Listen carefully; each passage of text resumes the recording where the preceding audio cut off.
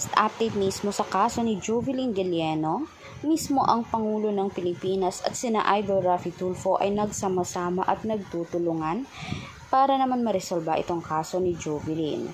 Sa ngayon ay dinedepensahan ng pamilyang Galieno na hindi si Jovelyn ang nakita at lalong-lalo na hindi niya pa magmamayari ang mismong damit na ibinigay sa kanya ni Leobert kung saan ito ay imbento lamang nila at tinatago nila si Jovelyn Galeno.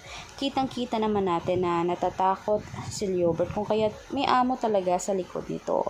Marahil ay hindi ito makapagsalita dahil nga marami siyang alam at baka magiging rason pa ito kung mapapanganib ang buhay ng pamilya niya.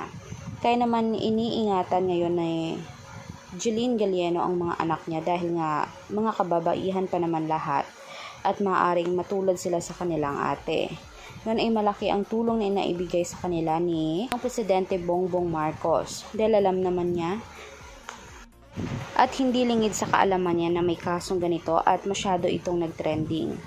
Kaya mismo si Pangulo na at si Idol Rafi Tulfo na ang magluluta sa mismong kaso niya. Sana ay tuloy-tuloy na to at hindi mapahamak ang ibang miyembro ng pamilya ng Galieno.